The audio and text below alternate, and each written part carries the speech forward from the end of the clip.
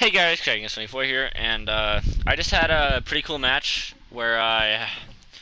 So the thing is that isn't cool is my friend sitting beside me on his laptop. Say what's up. What's up?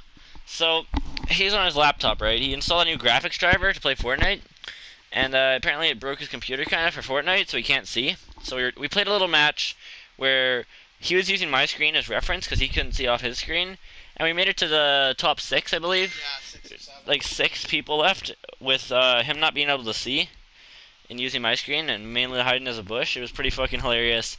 I left my mic unplugged to do it by accident, and I was commentating the whole thing. But here's the footage, and I hope you enjoy it.